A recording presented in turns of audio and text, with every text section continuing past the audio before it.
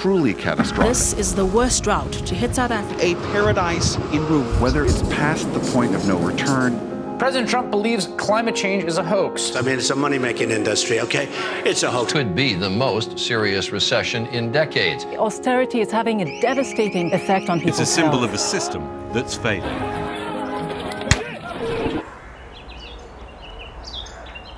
Our planet is a beautiful, rich, and abundant place. But there are some who are willing to sacrifice it for the sake of a quick buck. A decade after the financial crisis, the world economy remains unequal, unstable, and unsustainable. We need to work together to solve these problems.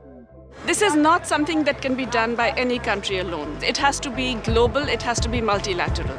We cannot let poor people in poor countries suffer the consequences of a problem that they did not create.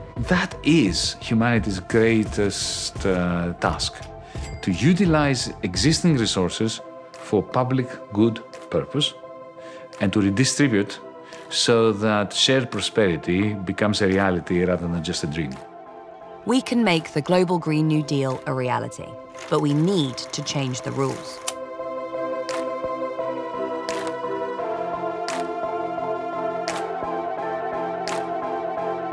Younger and younger people will rise up. Our children will rise up. For it is their lives that is being sacrificed on the altar of greater profits and convenience of a few. It cannot be business as usual. This is a call to organize. This is a call to reorganize and to make sure that we are fighting for a just economy, for a just society, a just environment, and a just future for the world. With international solidarity, we can change the world.